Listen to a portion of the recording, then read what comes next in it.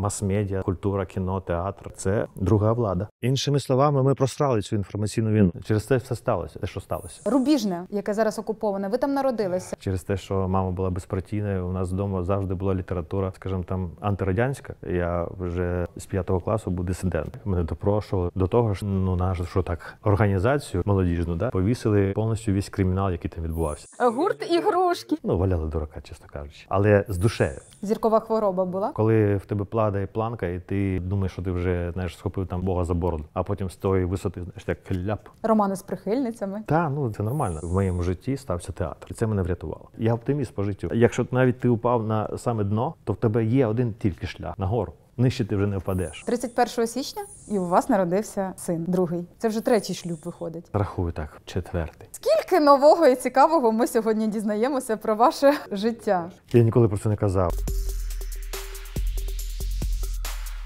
Усім привіт! Сьогодні я запросила, сподіваюся, на відверте інтерв'ю е, актора Олексія Нагрудного. Він же головний герой серіалів Ніхто не ідеальний, жіночий лікар, нове життя, різниця у віці. Фільмографія насправді велика. Але перш ніж ми розпочнемо сьогоднішню розмову, підпишіться на мій канал, е, поставте вподобайку. Якщо ви раді бачити мого гостя на каналі, долучайтеся коментарями до нашої розмови, якщо вам відгукуються ті чи інші теми. Загалом я заздалегідь усім дякую за вашу шалену підтримку, тому що для мене це найкраща винагорода. Олексій, я так одразу до вас повертаюся. Ми з вами зустрічаємося напередодні ювілею 50, але хочу зробити вам комплімент. Виглядаєте неперевершено. І найперше Дякую, запитання: дякую. це генетика, це режим харчування, спорт. Як зберегти такий квітучий вигляд? Дякувати Богу та твоїй мамі.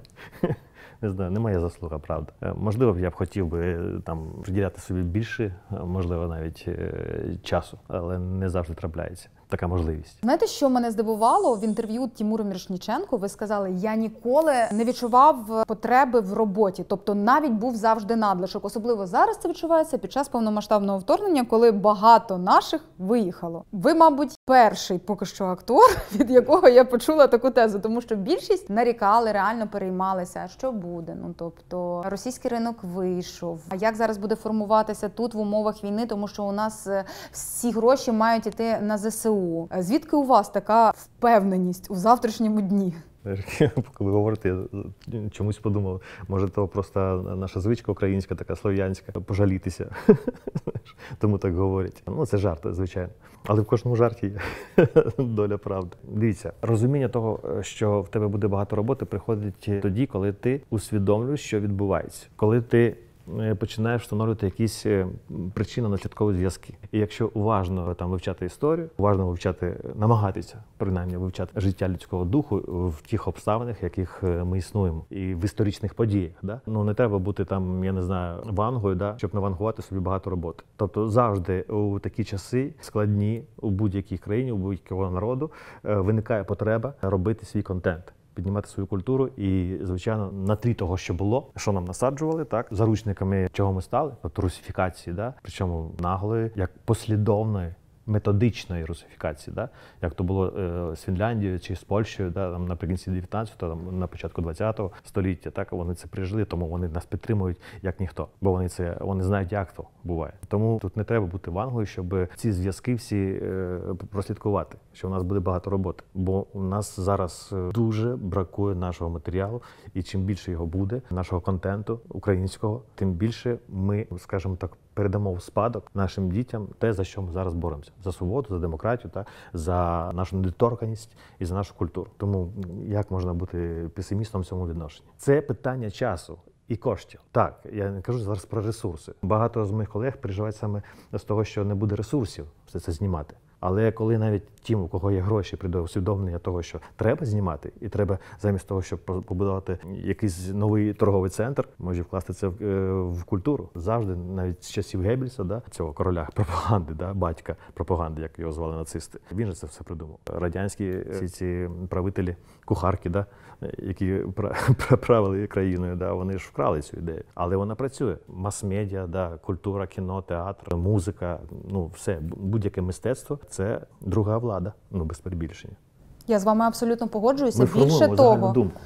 Більше того, мені здається, що наше українське суспільство, коли зараз говорить про те, що всі гроші потрібно віддавати на збройні сили України, безперечно, фронт єдиний, потрібно допомагати. Що культура зараз не на часі, кіно і серіали зараз не на часі, дуже знецінюють якраз культурний вплив на інформаційну політику і подальшу перемогу. Тому що якщо прослідкувати те, що робила Російська Федерація останні 20 років, і скільки саме через кінематограф вони заповнювали мозок е, своїх громадян цією пропагандою, да? благодарим Ну, діда за побіду, може словами, ми просрали цю інформаційну війну. Через це все сталося, те, що сталося. Ну тут теж немає нічого дивного. Я дивуюсь тим людям, які кажуть, що о, чому так вийшло? Боже, я, чому це відбулося? Е, Я дивуюсь, чому це не відбулося раніше. Воно мало відбутися ще на, на початку там нульових років. Коли Путін тільки прийшов до влади, а яким чином він прийшов, ми знаємо. Да? Ці вибухи у Москві, да, підірвані багатопорохівки, а потім звинуватили чеченців, да, розпочали першу чеченську війну і так далі. І так далі. Як він прийшов? Які популярні методи, але це ж не новина. Теж, якщо прослідкувати е, русько-японську війну, якщо прослідкувати, як японці, припустимо, підірвали маньчжурську е, магістраль, звинуватили це Китай і зайняли повністю Маньчжурі і віджали потім Монголія. Монголія потім відійшла радянському Союзу, ну то, то вже інша історія. Та нічого нового не відбувається. Відбувається все по спіралі. Цікаве припущення, враховуючи, що ви якраз на початку 2000-х навчалися і жили в Санкт-Петербурзі. Але перш ніж ми перейдемо Ну, так, е, до цієї на- глави на- вашої в- біографії. вище курси. Так. Рубіжне, яке зараз окуповане, ви там народилися. У вас хтось лишився в Рубіжному? Ніхто не лишився. Маму я забрав ще там десь 6-8 років тому. Перевіз її до Києва, бо я дуже теж не можу сказати, так е, хочеться, звісно, так е, хвастануть, як то кажуть, що я передбачав це та та та та та що може бути ще гірше, до чого все це йде, бо маю аналітичний склад е, розуму. Та аналізував, е, спостерігав і відбувався, читав знову, е, і знову спостерігав, і знову сопоставляв да, різні речі, як то відбувалося, наприклад, в Югославії, да, як це е, розкручувалося. Бо спадкоємці радянської влади, да, ця русня вона ж підтримувала сербів, там як це розкачувалося, да, як це працює ці технології гібридних війн, як е, і через що. Ну тому, якщо людина слідкує за цим, якщо їй цікаво, вона не буде здивована тому, що відбувається. І тому ті, хто були, скажімо, в темі, да, вони себе готували до цього. Тобто завжди е, були, скажімо так, в активній фазі готовності. Так? так, я займаюся весь час своїми справами домашніми. Так, я в побуті, я на роботі, я там граю в театрі, але я весь час готовий до того, що може бути. І якщо я готовий, що може бути, мене ніколи це не застане зненацька. Я нервую, я завожусь, я вже темперамент людина. Але я знаю, що у вас в Рубіжному батько похований. Похований батько він помер у 13-му році у грудні. Онкологія там поховали. Якраз ну дякувати Богу, що він не дожив до того 14-го. Бо я не знаю, як би він пережив. До речі, якщо брати фронтагоністів, мій папа комуніст, він загинув, помер з, з партквитком у руках. Ідейний був. Мама безпартійна. Як вони жили ці 40 років, я не знаю. Кохання. Уявляєте? Дві зовсім різні людини. Я ж через це, через те, що мама була безпартійною, у нас вдома завжди була література, скажімо, там антирадянська. Я вже ну, з третього, з п'ятого класу був дисидентом. Мене виключили з піонерів. Е, Це довга історія, це можна знімати серіал про це. Тому як вони жили, я не знаю. І дякувати Богу, що е, батько не дожив е, до цього. Наскільки складно було виховуватись в такій родині? Мама дисидентка, фактично антипартійна, Так, так, так, а батько партійний. Я пам'ятаю, як мама друкувала ці всі, ну як е, заборонену літературу на такій бумазі. Вона дуже прозора, така тонка калька, чи що вона таке називається, бо вона займає менш- менше місця.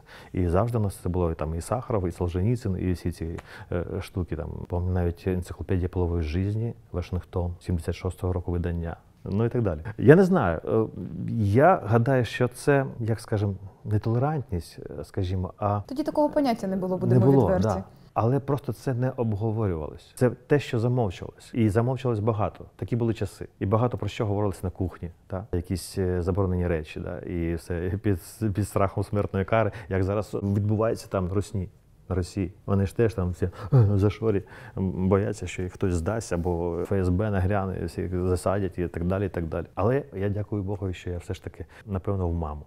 Що я почав дисидентствувати. Тому я був завжди проти системи, ну проти диктатури. Я тоді не розумів, це я зараз скажу так, да, я даю визначення таким речам. Але тоді е, я просто е, відчував фальш. Нас вчили е, одному, життя показувало зовсім інше. Завжди була класова боротьба, бо була партійна верхівка. Звичайно, вони жили краще, ніж е, просто е, пролетаріат. А нас навчали, що пролетаріат е, буде керувати світом і так далі. І так далі. І дуже багато не монтувалося. Да, пролетаріат буде керувати світом, але при цьому я остання буква в алфавіті. Да? Сидіть і не висовуйтесь. Всі маєте, як це було? Закінчити школу, піти в училище, піти працювати на робітничу професію, тому що комусь потрібно робити звичайно, ну, звичайно. Роботу. а хтось буде їздити за кордон, там бачите, як е, живе загніваючий імперіалізм. Захід так. Я зараз нічого не маю проти робітничих професій. У мене в сім'ї дуже багато людей, і електриків, і теж, до продавців. речі. бо зараз прилетить мені. Ні, просто я Мене ж перший пам'ятаю. запис у трудовій токар четвертого розряду. Серйозно? Тому що пролетаріат, мій вам респект. Але багато, ну я не знаю, навіть зараз е, існують ПТУ чи не існують. І чи ті виробництва завжди існують. Я ніколи е, цим не переймався. Але в останні ці два роки я переймаюся, тому що завжди, знов таки, в історичні часи, завжди будь-яка країна, яка е, була у стані війни, вона в той чи інший момент е, налагоджувала свій військово-промисловий комплекс, а не ходила і просила е, у когось дайте нам. До речі, це тема, яка бентежить суспільство дуже сильно нині. Дуже і ну і мене особисто, тому що якщо прослідкувати, то чому ми не можемо налагодити виробництво своїх танків, боєприпасів? Ну там дрони, так да, збирають там наші, але ж це ж ну кап крапля. Багато питань. На які е, поки що в мене немає відповідей. Я думаю, що вони будуть, але на це піде дуже великий час. А за, а за цей час гинуть люди. То якою ціною ми це здобудемо? Але здобудемо це без сумніву. Я оптиміст у цьому відношенні. Знов таки, історично так має бути. Від токаря у творчу професію. Ні, ну скажу так, токарі, то така, така справа. Тож е, через що? Це через те, що у мене конфлікт виник із батьком, бо він завжди вважав, що я фігньою займ- займаюсь. Да? А я пам'ятаю, тетя Валя моя теж покійна вже казала, це е, сестра мамина. Типу, Володя, хай йде на завод і працює. Типу, Що фігньою займається? Тобто, А нас- фігньою це ви на баяні грали в музичній Да, да, да, да. Там вірші писав, там пісні складав. Я там лауреат другого всесоюзного конкурсу. Він був другий і він останній, тому що союз розвалився. Але я мав намір, звичайно, бути світовою зіркою на світовому рівні, саме е, музикантом, не е, артистом естради, да, а саме музикантом. Тобто навіть не в оркестрі грати. Я хотів сольної кар'єри, і в мене все для того було, окрім ресурсів.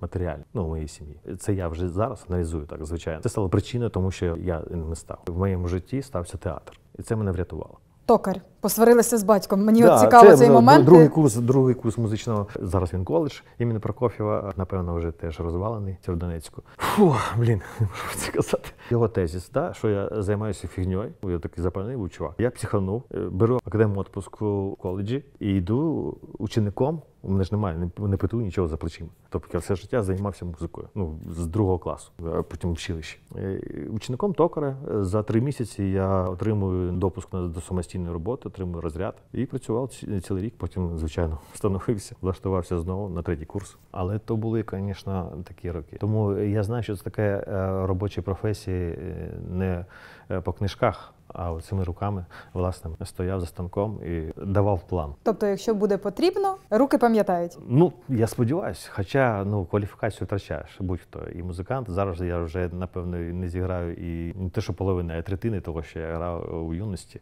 коли навчався. Так? Я б теж зняв серіал, до речі. Ну, Дуже печальна історія. Я згадав чомусь е, ці е, королі репу, да? Цей фільм. Він мені дуже подобається. Вибачте, е, колеги. Не через те, що не через художню цінність. Е, Там все нормально, там з акторами, е, з тим, як всі ці працюють, але з тим меседжем. Це питання, напевно, до сценаристів, до режисера. Який меседж я передаю у світ? От я, допустимо, з Халупінська, да? називаємо так. Умовно, не ображаючи нікого. Меседж, який для мене, що я виніс з цього фільму. Якщо ти з села, тобі одна дорога або в тюрягу, або сюди і не репайся зі своїм репом. Це не може так бути у мистецтві. Я не кажу зараз банальні речі там про світло в кінці тунелю. Да? Американці як роблять. Якщо б ви зробили, да, припустимо, хоча б можливість таку, що ці хлопці все ж таки е, дісталися там в столиці, да, стали зірками або світовими навіть. Да? Зараз що роблять корейці? Да? Кей-поп нагибає весь світ, да, і корейські серіали. Америка вся тащиться там з Blackpink, там і BTS, і всі ці штуки. Та? Корейці. А ми не можемо з нашим досвідом культурним, з нашими талантами. Просто мені здається, що не ставиться така планка. А ми собі тут, ми собі тут і так.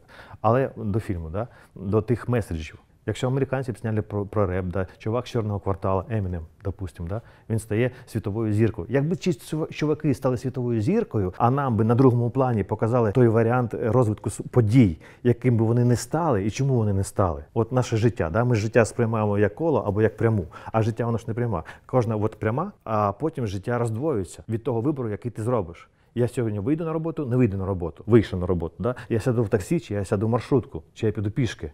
Оп, вже знову три лінії. Да? І от і це дерево, оце життя. Воно складається з вибору. З кожної секунди ти щось вибираєш. Сказати, не сказати, посміхнутися, не посміхнутися, піти, не піти, залишитися. Або бездія, це ж теж дія. Да? Я обираю бездіяти, бездіяльність я обираю. А потім я вже несу відповідальність за це, не, несу відповідальність, що я бездіяв. Або я навпаки щось зробив, а потім пожалів, що я зробив, зробив щось інше. Да? Це кожного, кожної секунди це вибір. Оце життя складається. І якби ви показали, що ось такий вибір і до чого він привів, а ось такий вибір і до чого він привів до світової е, слави, да? визнання української культури, українського репу і так далі. А ви ж мені безперспективняк зафірячили. І що цей е, чувак, який там, припустимо, десь у Коломиї побачить таке кіно, і він пише ці вірші, да? він читає цей реп, і він подумає, та мені не світить нічого. Побачив це кіно. На кому відповідальність за це за того чувака, якого ви вбили те бажання стати зіркою? Він не поїде до Києва. Він побачить це кіно і скаже, та мені не світить. Це ми зараз повертаємося до величезного впливу кінематографу Це надзавдання. на е, свідомість людей. Ну, Звичайно, ми нічого не змінимо. Ну на жаль, мистецтво нічого не міняє. Я не можу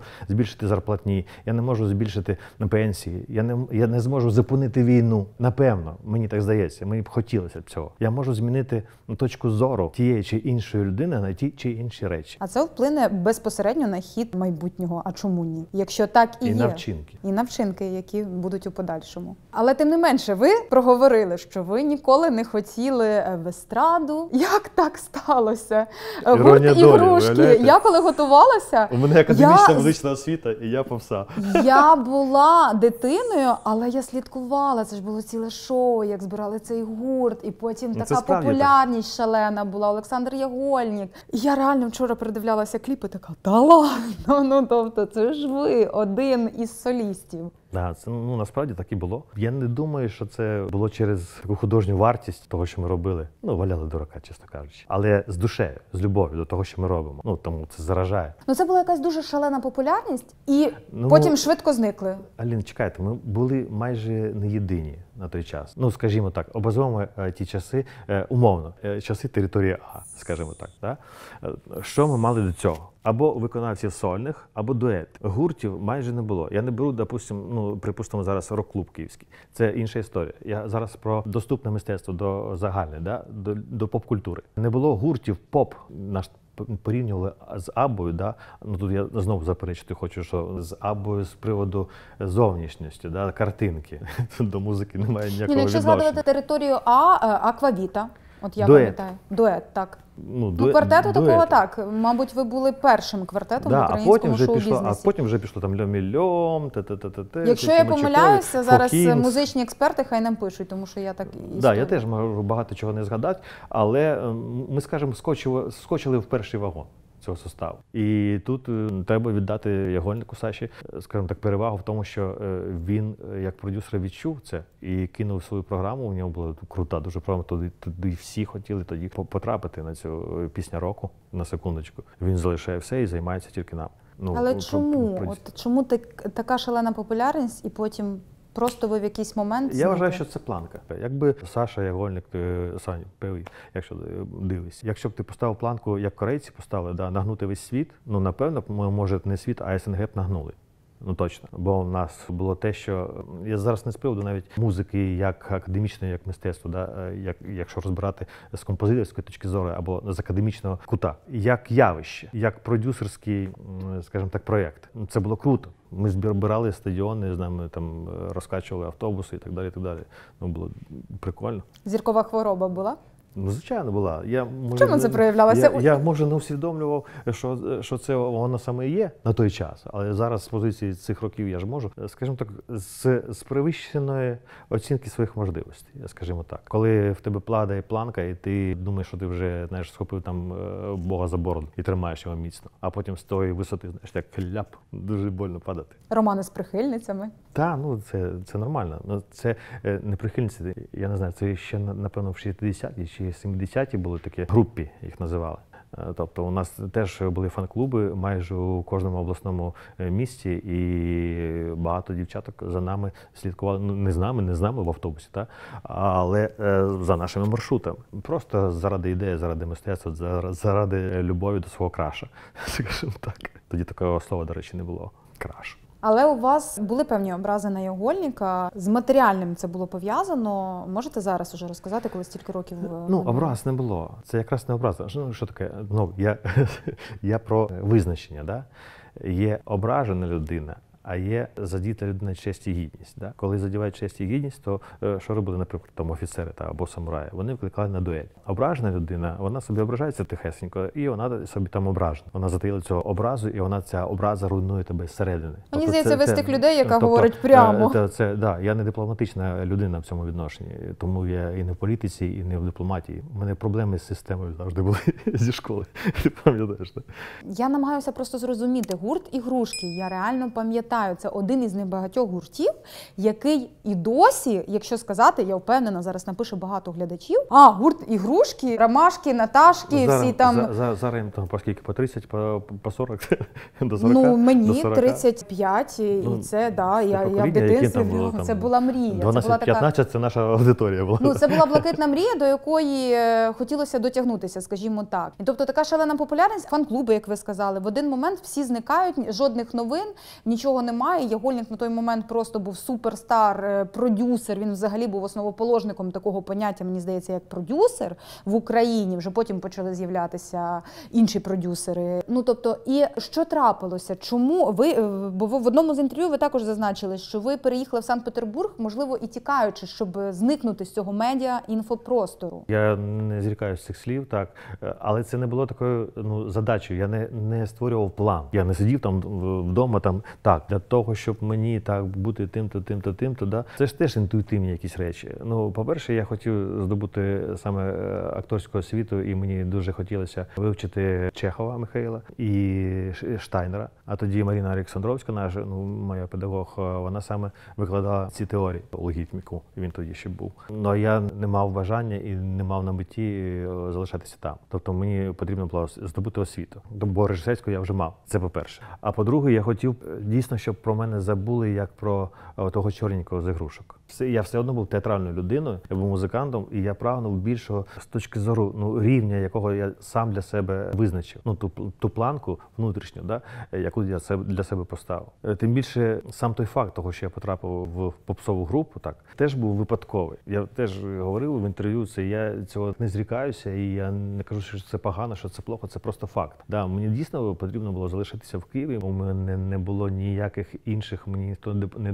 допомагав. У мене не було знайомих. У мене не було тих, хто прикрив би мої тили. Так мені потрібно було вигрібати самому. І тут це так сталося. Обставини. Там запросили, там познайомилися, там ти ж потрапив. Да? І воно я не можу сказати, що я на самотьокся пустив, да? як м, поліції. Ні. Але якесь внутрішнє усвідомлення було того, що я хочу, дійсно це ну хто б не хотів. Ну давайте зізнаватися чесно. Ну це дуже приємно, це дуже затягує, це дуже потрапляє і в серце, і в розум, і в свідомість, і, і все. Ну ти блін, ти на вершині, да. Типу, тобі так здається, да. Але багато хто не може відмовитися від цієї популярності. Популярність це ж як наркотик. Напевно. Будемо зізнаватися зараз відверто. Напевно. Ви, я багато хто не зміг би зректися і поїхати в іншу країну, і щоб отак просто зникнути з інформаційного простору. Мені просто, але це і не моя заслуга, напевно. Власне, Мені про завжди було просто. Ну, якщо що я пішов з музикального училища, при цьому маючи за плечима там е, лауреатство і амбіції такі дуже круті. І тут я плюю на все. Я реально ризикував. І мій педагог, е, покійний Юрій Васильович Багміт, він був в шоці, тому що ну не те, що рік, місяць я провів там за станком. Це все це піпець моїй техніці. Це вже вони пальці вже не будуть так ворушитися, як ворушились. Це ж руки, це як у хірурга. Вони завжди мають бути надчутливими, надрухливими. А тут чувак на завод пішов і все. Але я повернувся. Я пам'ятаю цей момент, коли отримав свою першу зарплатню. А вона ж здільщина була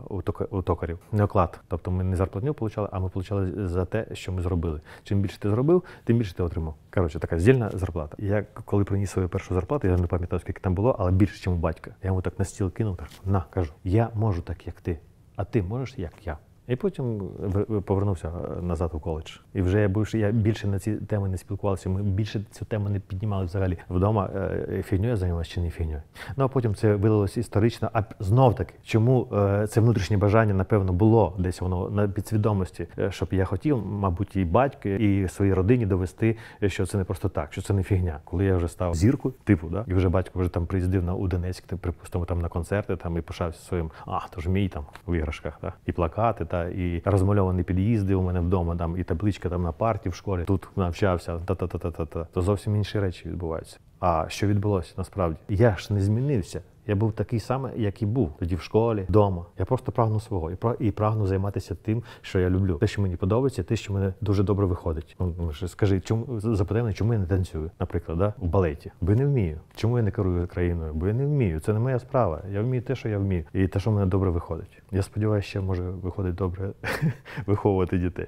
Але побачимо. Чи правильно я розумію, що ви покинули естраду? Ну тоді ще естрада була, шоу-бізнес починав тільки формуватися. Новий український шоу-бізнес, скажімо так, тому що територія А це вже шоу-бізнес заради м, акторства. Тобто, це була більш глобальна мрія для вас. Так.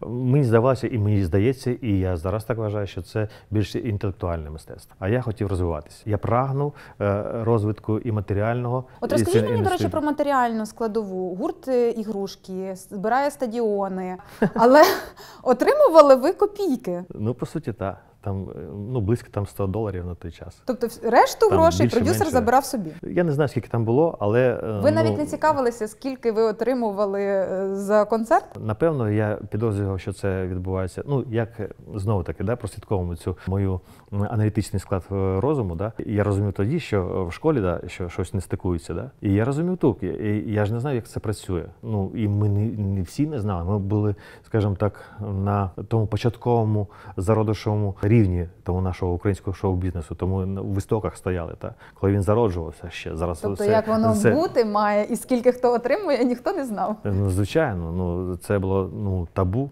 Ви робите свою справу, то ви робите свою справу. А потім, вже, звичайно, коли ти починаєш цікавитися, скажімо так, виробництвом, не творчою стороною цього, да, а виробництвом, як то відбувається, саме шоу-бізнесом. Коли ти бізнесом починаєшся е, цікавити, тоді виникають питання, на яких у продюсерів немає е, відповідей. Да? Ні, вони є. Але їх не популярно тобі говорити, бо за цими відповідями знову виникнуть ще питання. По-перше, я хотів росту, я хотів все ж таки бути в акторській професії. А по-друге, я для себе сформулював таким чином: Е, скажімо так, рівень моїх внутрішніх амбіцій припинив е, відповідати матеріальному еквіваленту. Отак. Ну і плюс я ж кажу, планка. Залишатися у шоу-бізнесі і грати на концертах у можновладців або у політичних діячів, там у Медведчука на дачі. А в кого ви грали, до речі, з політичних діячів? Ну, того ж Медведчука, наприклад. Тобто запрошували? Я вже теж не пам'ятаю, бо я цьому не приділяв стільки уваги. У мене була голова зайнята якраз дівчулями, да, цим цим фльором цього шоу-бізнесу, я зірка там, та, та, та, та, і я намагався не вникати у політику. Напевно, я би вникав, може був вже продюсером, там, може канал би всі мав телевізійний. А звідки була така впевненість, що саме акторство вам принесе матеріальні блага? Тому що знову ж таки, повертаючись е, до тих історій, які чула я, кінець 90-х, навіть той же початок 2000-х, акторська професія була не настільки прибутковою, щоб забезпечити ваші внутрішні амбіції. Ну, скажімо так, не те, що не прибутковою, а злиденною. Ну так, ну, по суті, так і було. Не знаю, перечуття, напевно, Алін. Я не можу це пояснити. Я можу зараз вигадати якусь версію да, з точки зору свого життєвого досвіду і зараз сформулювати. Але це не буде правдою, тому що тоді я так не думав. Але була впевненість внутрішня, що я можу заробляти собі на життя своєю професією. І що це прийде. Ну а знов таки такого не може бути. Завжди є розвиток. Або є розвиток, або є навпаки, е, як це люблять наші там русня, отрицательний рост, або в інший бік. Але знов таки, навіть я оптиміст по життю. Якщо навіть ти упав на саме дно, то в тебе є один тільки шлях нагору. Нижче ти вже не впадеш. Там нічого страшного нема. Ну, впав ти. Взяв свою дупу в сраку, блін, і підняв себе за волосся нагору. А які моменти зараз, озираючись назад, ви можете назвати в своєму житті, коли ви торкалися дна? Ну, дякувати Богу, що напевно це ж у порівнянні. Да? На самому дні я напевно не був. Да, я не валявся там під забором, десь я не сів в тюрму, е, я не ходив з протягнутою рукою. Напевно, це ну я не був на самому дні. Тобто я не там не пияка, там не наркоман. Я не в плані, щоб образити тих людей, у яких залежність. Це хвороба, це е, окрема тема, яка мене теж бентежить. І я ну поговорив, бо це знов таки культура. Е, Людство завжди приймало якісь психотропні речовини із спокон віків. Якщо прослідкувати, яка Карлос Кастанеда, да, і всі ці шаманські історії, да, і наші казки про бабусі, які там на травках там чи, чи що ще нашоримурили, да, і відьмацтво, та і ну це, це дуже багата культура, коли людство весь час щось сприймало для того, щоб відкрити свої чуттєві і просторові, скажімо так, ну горизонти. Так і 60-ті, наприклад, взяти, да, там Тімоті Лірі, там е, Гофман, так і так, і так далі. І так далі. Всі, ці штуки, коли досліджувалася людська підсвідомість, да, і було багато е, препаратів. е, Я не кажу про наркотики. То наркотики то інша справа зовсім, то лікарська, то знеболююча, да, то вона зовсім там міняє повністю. Там інший принцип роботи. А ми кажемо про ті речі, що таке кава, та кофеїн. Це ж е, психотропний стимулятор центральної нервової системи. Нікотин, стимулятор центральної нервової системи, алкоголь, да, те, що ми називаємо яд у класифікації цих е, е, речовин. В алкоголь, мені це здається, навіть якщо прослідкувати фільми, кінематограф світовий, наш, це суцільна пропаганда алкоголя скрізь. Але Тому що етилен, люди- етиловий спирт це яд у класифікації цих е, ну, хімічних речовин, які заборонені, не заборонені і так далі. Люди знімають Навіть- стрес, навіть скляночку подивитися ввечері. Да? Це все показується в серіалах, тих же, в кіно. Але яке відношення до того вже у тих чи інших людей, е, то ж вже є знову така загальна думка, скажімо так, е, громадська, так і те, що ми називаємо моралью. А мораль що це? Мораль це е, термін, введений Цицероном у філософії. Тобто моралі, по суті, якщо розбиратися з філософської точки зору, її не існує в природі. Мораль це така негласна домовленість нас у трьох. Припустимо, да, як ми будемо дивитися на ті чи інші речі, і чи ми будемо їх засуджувати, чи ми будемо їх прославляти і, і втілювати в життя. Насправді довга дискусійна Так, може так, бути так. тема для розмови, але повертаючись до дна, я розумію, да, у вас не було залежностей, слава Богу, ви там не валялися, як ви сказали, під забором, але в кожного із нас є своє певне дно. Скажімо, не, не дно, да, а оці, якщо на графік, на цій су- синусоїді, да, е, найнижчі точки, скажімо так. Напевно, це усвідомленість того, що я це по-перше, ну з самого початку, так що я не стану світовою зіркою з точки зору музиканта. Тобто світового е, рівня там ваша акордеоністом, да? Е, не баяністом, я не люблю це слово, будемо називати кнопочний акордеон. Все ж таки, да? акордеоністом. Да. Ну, я все життя цим займався з другого класу. Я, я вступив в музичну школу сам. Е, Батьки вже дізналися після того, як мій педагог подзвонив і сказав, чому ваша дитина не на заняттях. Ну вони здихнули, тому що 30 рублів е, радянських потрібно було платити за це. І Це плюс- великі і- гроші були. дуже великі на місяць. А це 5 років офіційно, а я займався 8, бо я вступав потім в коледж музичний. Тому я 8 років відходив в музичну школу. 8 років. По 12 місяців по 30 рублів. І плюс інструмент. Два рази його поміняли. Один у початкових класах, бо він мусить бути мал- маленький, а потім побільше вже в старших класах, з яким вже я їздив на конкурс. А потім, щоб займатися професійно далі на світовому рівні, потрібен був інструмент, який на той час коштував 5,5-7 тисяч рублів. Це ГАЗ-24 Волга, да? або Жигулі на той час. Ну, у моїх батьків не було таких коштів. Це зараз я розумію, можливо, якщо б вони хотіли і було б велике бажання, я от завжди ставлю на себе на своє місце, що б я зробив. Напевно, я б там взяв би кредит зараз би, да? Тоді ж не було такої можливості. Зараз би взяв кредит або зайняв би у когось, взяв би на прокат для того, щоб дитина поїхала на той конкурс. Да? Я мав їхати там до Польщі. Юрій Васильович Багміт мене готував третьому курсі. Але він відверто сказав моєму батьку, що з таким інструментом там нема чого робити. Навіть якщо у вас син буде геніальний, блін, там е, виконавець з баснословною якоюсь там технікою, та там інші інструменти. Це ж е, звук, це ж музика. Нікого не буде цікавити, що у нього там на дерев'ясті грає. І ну, для мене це рухнуло все. Бо я нічого е, не вмів, по-перше. А по-друге, я нічим більше не цікавився, окрім музики. Я навіть, чесно кажучи, я любив читати, я читав вже з 4 років, але, скажімо так, література то не була моя. Захопленням не було настільки Так, так. сильним, наприклад, як Я любив, я любив з точки зору отримання знань і знову там розвитку себе. Бо в тому містечку, в якому я жив, було мало можливостей для розвитку. Я повернусь до цих е, реперів, до королів репу. Краще б зняли кіно про мене. І це, я гадаю, надихнуло. Я зараз, зараз без е, зайвої там е, скромності. Краще б зняли не про мене конкретно, да, а про такого мого персонажа. Я ж такий самий, да, хоч не села, але з. Да. І я коли я пам'ятаю, коли я приїжджав у перші роки, тоді ну на мене дивилися як на героя. Ну чувак, йому пощастило. Ніхто не казав тоді, що я це здобув своїми якимись силами і свої, ну, своєю працею. Пощастило. І я зараз так гадаю, що насправді воно так і сталося. Був якісь моменти свого життя в тих чи інших. Ну Ви опинилися в да. потрібний час в потрібному і з тими людьми. І з тими людьми, які також були потрібні вам саме в той момент. Тобто, е, якщо фантазувати, припустимо, пофантазуємо, якби перед моїми очима стояв там не мой педагог да, з музичної школи, який для, для мене зірцем. Потім це був інший педагог Юрій Багмін. Да. Потім е, мій перший режисер та і керівник молодіжного театру у Сєвєродонецьку, да. нині покійний вже е, Олександр Володимирович Брістюков. Да. Ну, якісь такі, за якими я тягнувся. Я хотів бути таким, як вони, я хотів бути краще, ніж вони.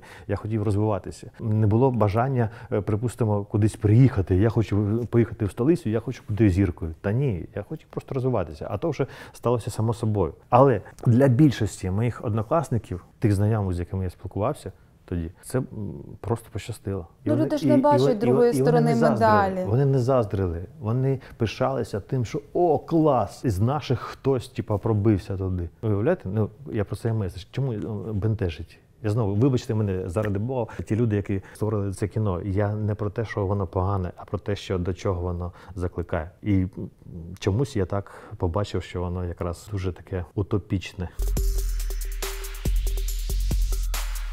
Санкт-Петербург і навчання там. Поїхали до конкретної е, викладачки, але ви Да. сказали, я ніколи не хотів працювати саме на Росії. Чому? Знов таки, це напевно спадщина мого дисидентства. Хоча з точки зору роботи і професійного відношення саме до професії, ну там багато є чому навчитися. Я так само, як і у американців, так само, як і у німців. За поляків не знаю, не скажу. Не був, не стикався ніколи. Але от та моя спадщина дисидентська, напевно, е, зробила свою справу. Я не, е, не те, що не люблю, я запеклий ворог диктатури будь-якої. Ну, при будь-яких обставинах. Неважливо, яка то вона буде нацистська, чи якщо Боже припусти, да? зараз пофантазуємо. Якщо тут в Україні буде диктатура, я буду з нею боротися. І неважливо, це буде українська диктатура чи якась ще. Я буду боротися проти диктатури. Я за свободу. І тут е, знову має бути присутнім в цьому здоровий глузд. І лицарський дух.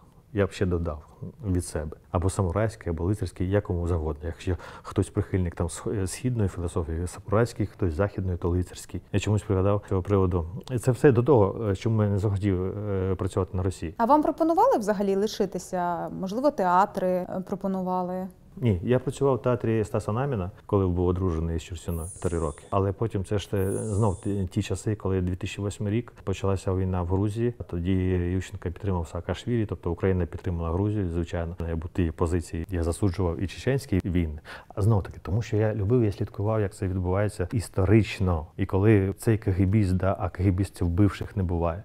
Ми це всі знаємо. Прийшов до влади. Я вже тоді відчував і знав, що ну які це буде будуть методи. Тобто, те, що вони називаються Російська Федерація, нічого не змінилося. Вони лишилися тією радянською диктатурою. Вони всі нащадки її. Це кузніця кадрів. Як вони кажуть, да? вони шкують у цих кузнях саме таких диктаторів, і це ж нічого спільного немає з українською традицією, з козачеством, е, з соборністю, да? з радою. Ну не з, з зрадою, а з Я зрозуміла з радою, так. з радою, да? Це ж нащадки монгольського іга цього, да? і там повністю ця вертикаль кочевників. Росії потрібен цар був завжди. Одна людина, яка б керувала, і, тиран. плюс, і плюс гулаг. Тому це моє прагнення для, до свободи. Я ненавиджу ходити строєм, скажімо так. Скільки ви прожили років на Росії? З кінця 2007 по кінець 2009, ну у 2010 я вже був у Києві. Ну тобто, фактично, поки ви були одружені на акторці Ользі Так, Чурсіній. так, так, так. Як тільки у нас дійшло до розлучення, то все мене більше там нічого не стримувало. Я, власне кажучи, і опинився там лише завдяки ну коханню. Тоді мені так здавалося. що А як ви познайомилися з Олею? Ну, все дуже просто. Все так банально насправді. Серіал серцю не накажеш. Перший такий сотка на плюсах. Там 100 з чимось серій. Тобто знімали в Україні. Так, так, так. Це було російсько-українське виробництво. Так, це ж, е, здається, мені тільки відкрилась фільмвей.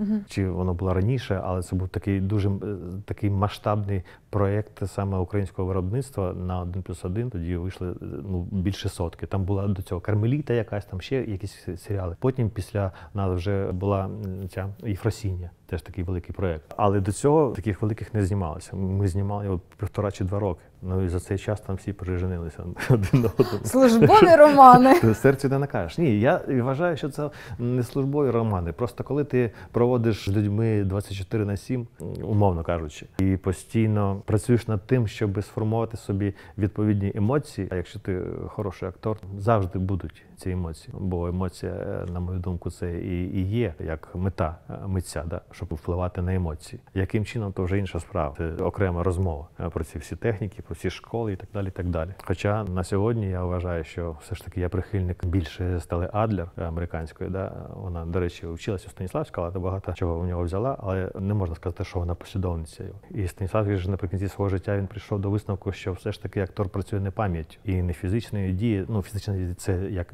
як підспір'я, да? так фундамент, щоб костелі, щоб собі допомогти через зовнішнє до внутрішнього дійти. Да? А все ж таки він дійшов до висновку, що актор працює уявою. Це головне. І Стела Адлер саме зачепила за цю тезу його і почала розвивати вже на від'ємність там, ну, наприклад, від е, Лі Страсберга, да? ще одна така велика американська школа, там їх три. І вони розійшлися якраз з приводу цього, тому що той е, е, залишився на, е, на дії, на фізичній, да? і на намірах. Да? Намір. Це моя дія, е, це е, ну, яка визначається там дієсловом, як я хочу вплинути на тебе, на твою поведінку, на твої емоції, що я хочу зробити по відношенню до тебе. Да? І яким я чином це буду робити. А Стела Альдер все ж таки пішла іншим шляхом. Вона вважає, що як і Станіславський наприкінці життя. Багато про це не знають люди. Вони беруть перший том, другий том, да? як у нас викладали в Карпенко, Станіславського там е, і третій. Да? Перший там робота актора над ролі, робота актора над собою. Все. А у нього їх вісім томів. І плюс ще робота у Франції, робота у Штатах, да, у 30-ті роки вже перед смертю буквально. Там же Вахтангов, там і далі. Ну, і не хочу про Русню цю говорити. Фу. Ми від е, особистого життя перескочили вже філософію акторської професії. Мені насправді дуже цікаво. Ще ніколи мені було не е, так не цікаво слухати про чужу професію.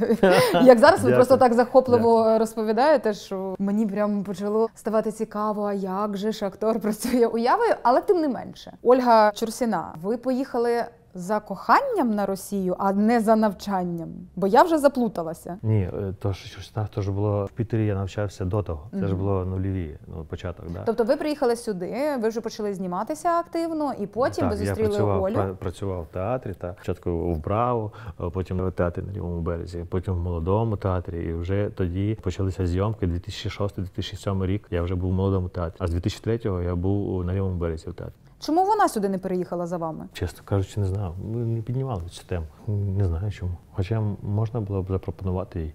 У вас була професія, ви служили в театрі. Всі театри, які ви назвали, це Да, дуже я, хороші я, театри. Я вів ще, здається, на той час лотерею Суперлото. Супер лотовили. Точно, я потім... згадав, я забув про це. Кіт вів до початку ну, до того. А після нього, після кота, я вже. Ну тобто, ви себе доволі непогано почували в Україні. Е, Ну, так, я так розумію, так. що матеріально ви були забезпечені на нормальному рівні. Чому не забрати сюди кохану? Було що запропонувати. Напевно, вода, що це психологічні аспекти, і це вже мої внутрішні тригери, маючи один там е, брак за плечима, да, і плюс е, там Тобто е, до Олі у вас ще був один шлюб? виховання, скажімо так, знову таке слово дурацьке, але воно такому подобається наратив, да, про те, що ми говоримо. Знаєте, нам же ж вкладають там з дитинства різні стереотипи. Припустимо, там мужики козли, всі там дівчатка. Нам да, дуже там. багато пострадянських Е, та- різних оцих е, наративів, Всі як ви мужи- правильно всі- зазначили, Всі вкладали. мужики так. козли, там е, чоловіки не плачуть, там да, да, да, да, да. Ну і і пошло поїхало. Їх мільйон на такій підсвідомості. Вони так так там вчепилися. Чим я зараз і займаюся,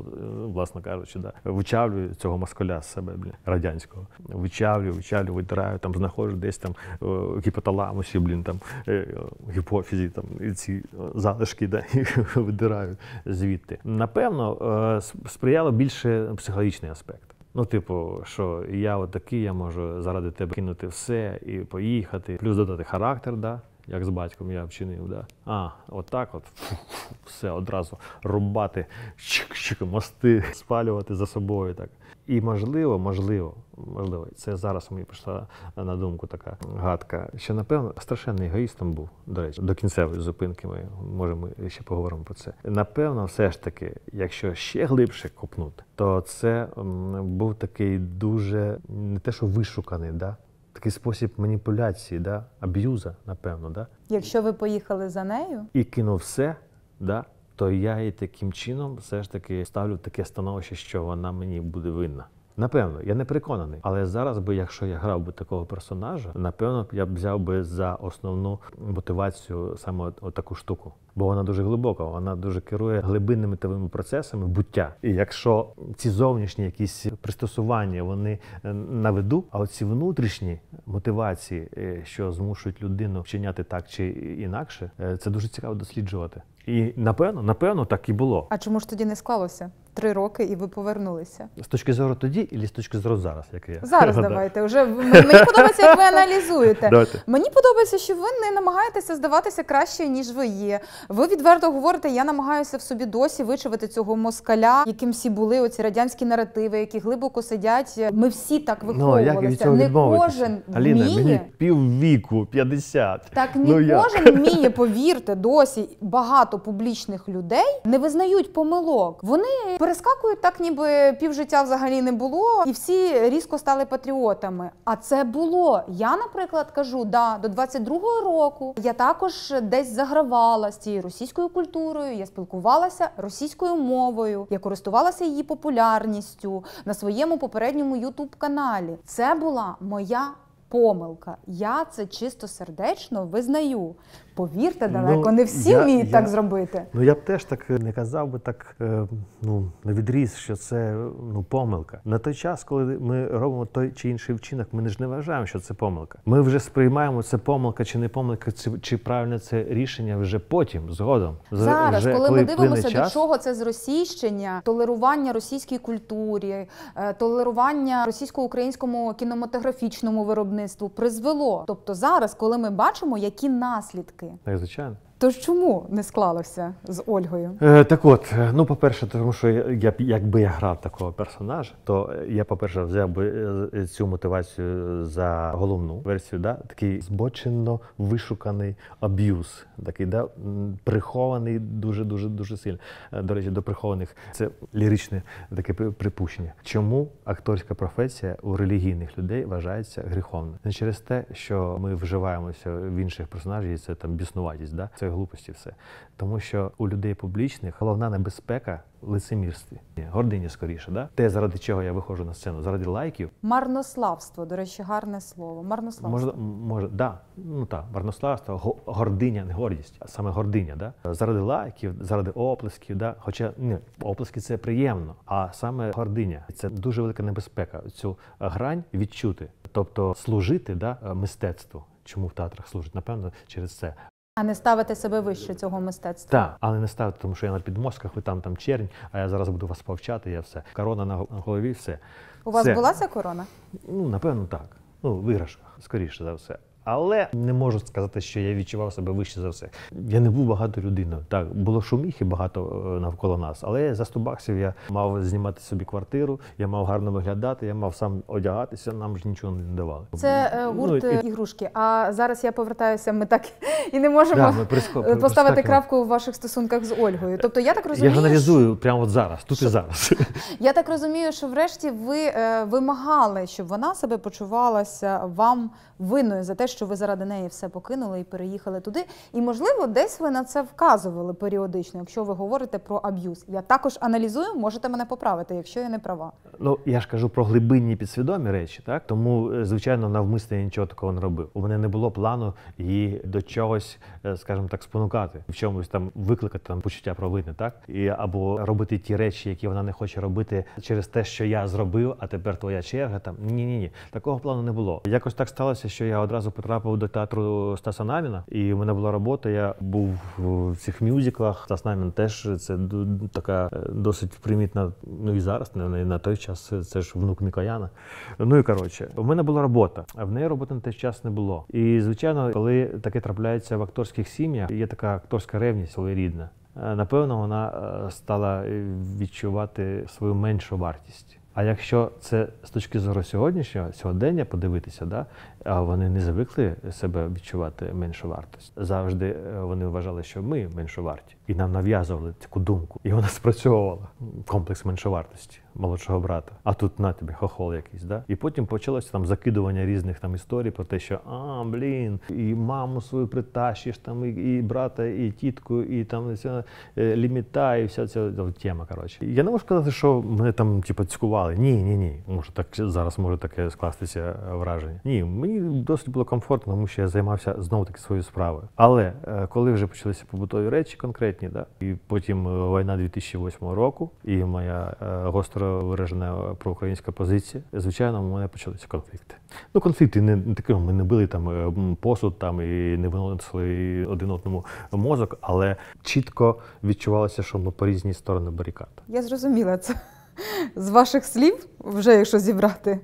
е, І все. Ціле ну, і все. потім, я не знаю, знов таки, моє повернення додому було питанням часу. Я переконаний в цьому. Тому що ще, ну, те, що я там здобув з точки зору професії, так, я здобув е, те, що мені було цікаво. Зніматися я там не хотів, тому що із того, що пропонувалося, знов таки, чому я не, не залишився на Росії. Да? Якщо брати ремесло, відобмежуючи його від надзавдання як людини митця, да, як і від пропаганди, і ідеї руського міру, да, які вони несуть у мистецтві, в тому числі.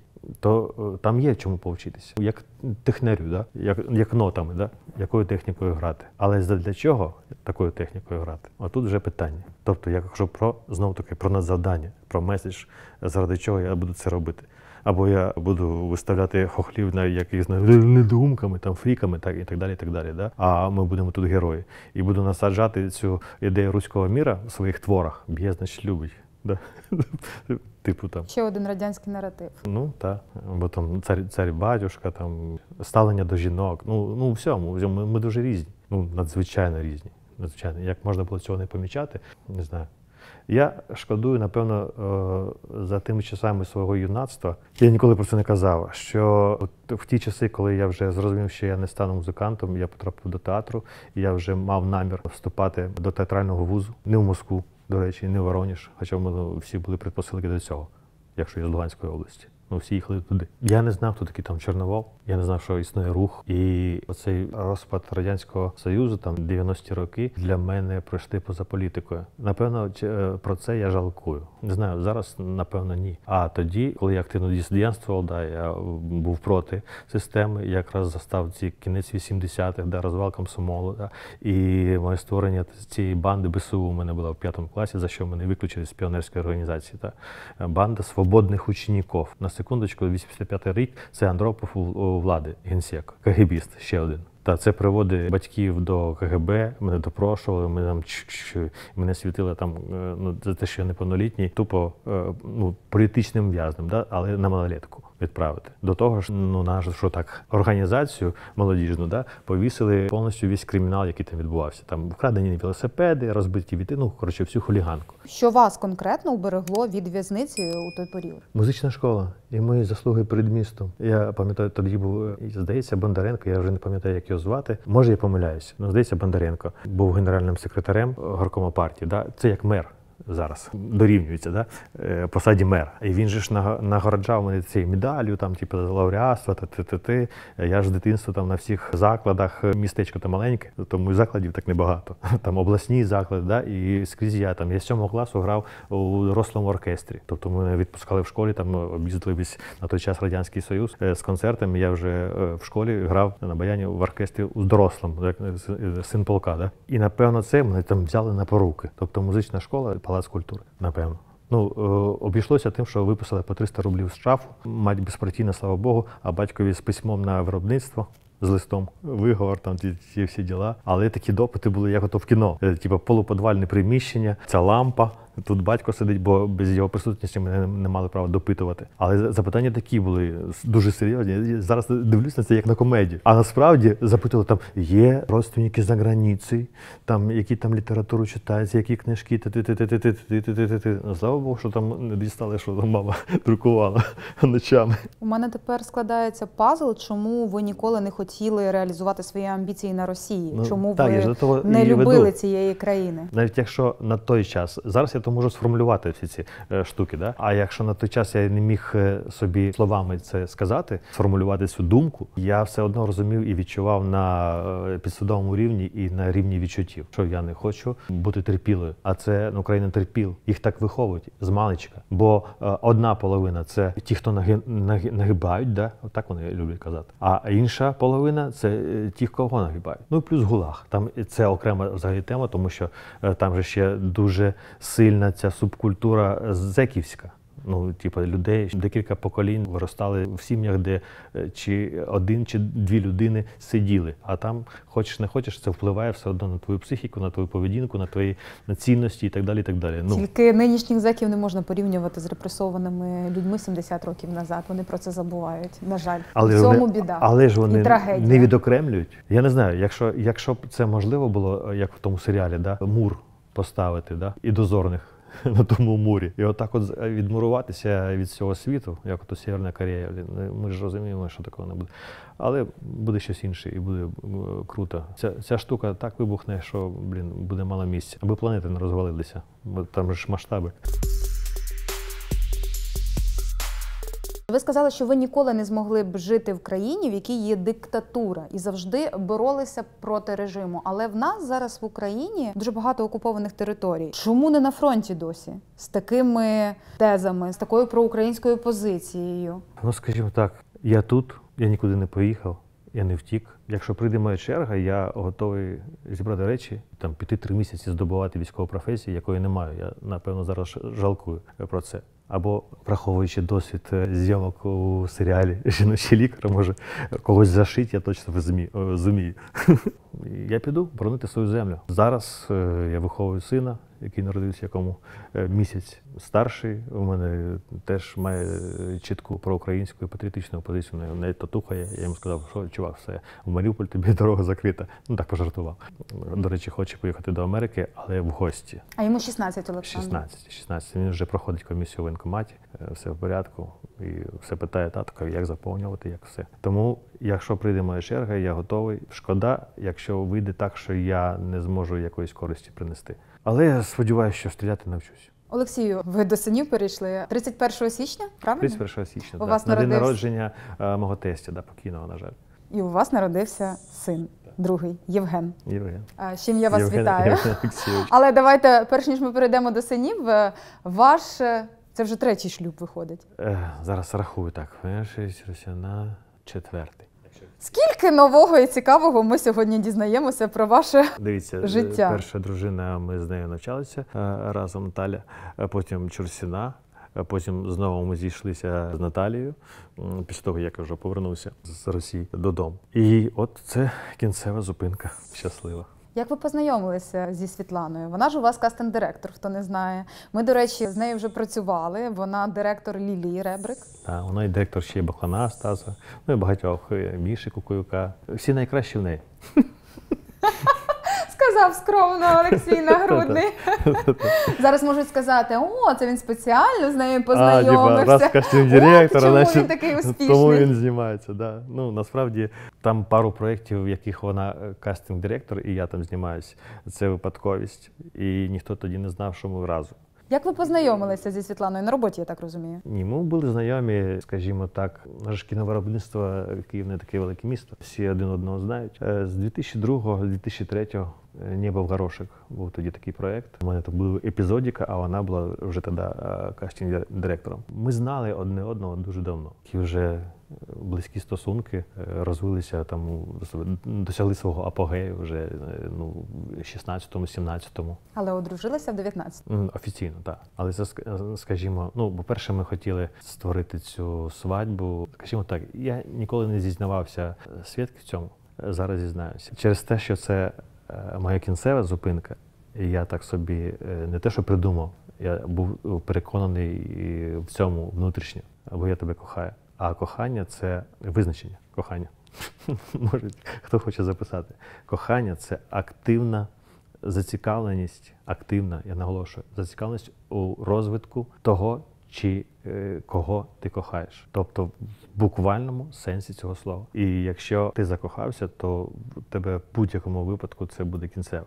Я маю на увазі не закоханість цю миттєву, да? не пристрасть. Не коли там в тебе хімія відбувається, а кохання, яке приходить свідоме, коли воно приходить з віком, я не знаю, з досвідом, і коли ти бачиш людину, і ти не зосереджуєшся на своїх почуттях, а ти зосереджуєшся на почуттях тієї людини, яку ти кохаєш. Це не жартовність, ні. В жодному разі. Я вже е, казав про жартовність, до чого вона призводить. Вона ставить е, іншу людину, тобто твого партнера, в залежність. Та людина стає заручником. Тобто, і це з твого боку, це вже егоїстично.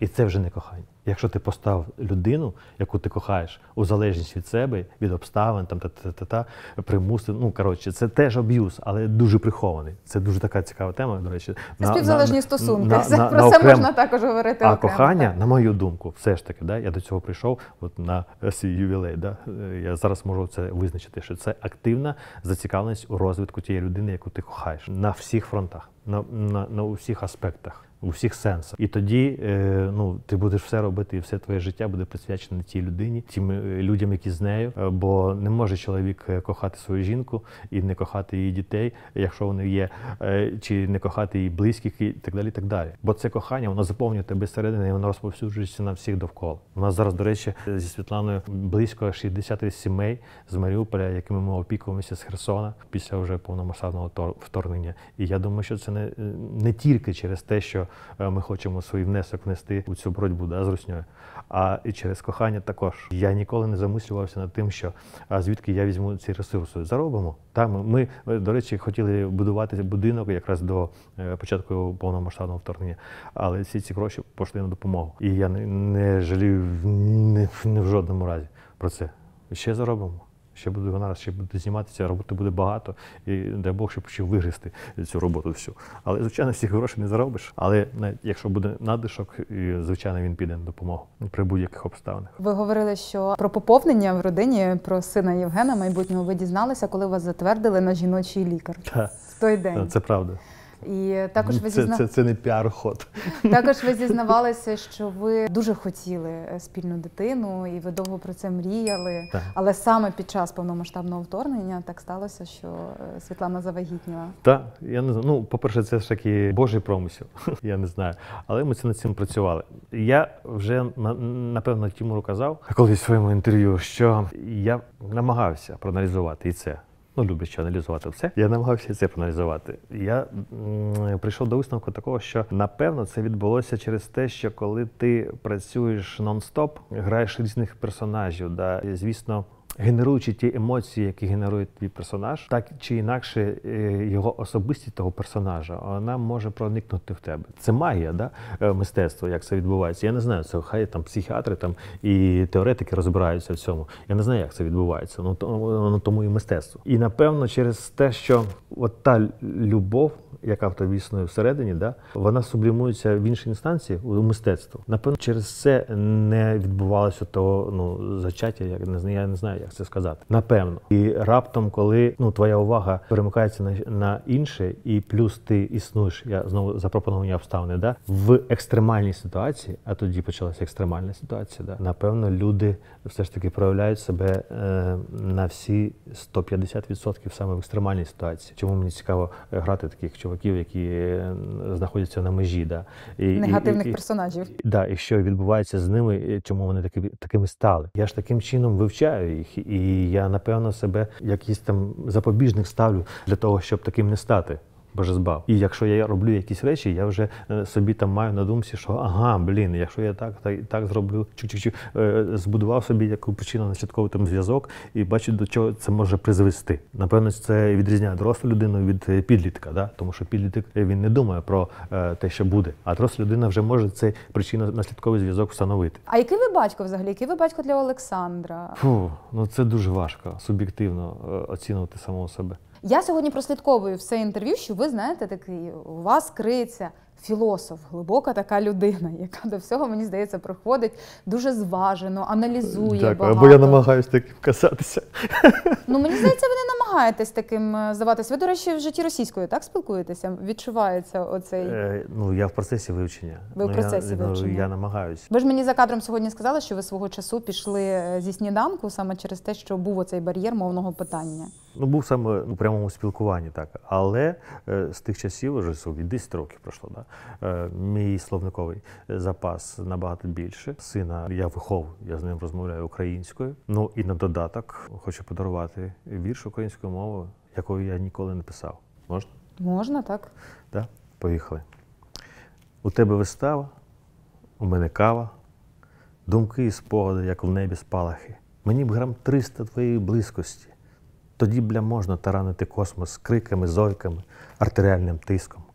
Мені хоч чарочку твоєї близькості. Прекрасно. Це ви написали. Ну, звичайно, да, Олексій Дуже гарно. Так що я в режимі. Це є підтвердження мого вибору. А вибір є завжди. Погоджуюся. Я вам дуже дякую за сьогоднішню розмову. Ви знаєте, неочікувано, неочікувано ви розкрилися сьогодні для мене. Особисто так точно. Якщо для моїх глядачів також, будь ласка, напишіть про це, тому що ви дуже глибока особистість, скажу я вам. Дуже так, дякую. я не знаю, як ви живете в житті, не знаю, як живе з вами Світлана, тому що жити з таким чоловіком, який Ну, старший все... називає мене душнілою. душнілою називаю. Який звик все аналізувати і підходити здалека до вирішення будь-якої проблеми, це квест. Дякую. Дякую. Завжди, будь ласка, але тем багато. Можна говорити про кохання, але в вузькому сенсі. Да? Можна говорити про медицину, про біологію, про історію, про психологію. Я дуже люблю про ці речі говорити. Тому що моя професія це вона в цьому і стосується, да? про вивчення людини для того, щоб е, потім створити образ цієї людини. А це головна мета митця створити образ. Ви врешті називаєте себе митцем. Я прагну до цього. Це моя планка. То вже вирішать люди, да, митець чи не митець, або час, або історія. А планка в мене така. Хотілося б. Напишіть, будь ласка, яке враження на вас сьогодні справив Олексій Нагородний, мій сьогоднішній гість. Дякую вам. Тобі дякую.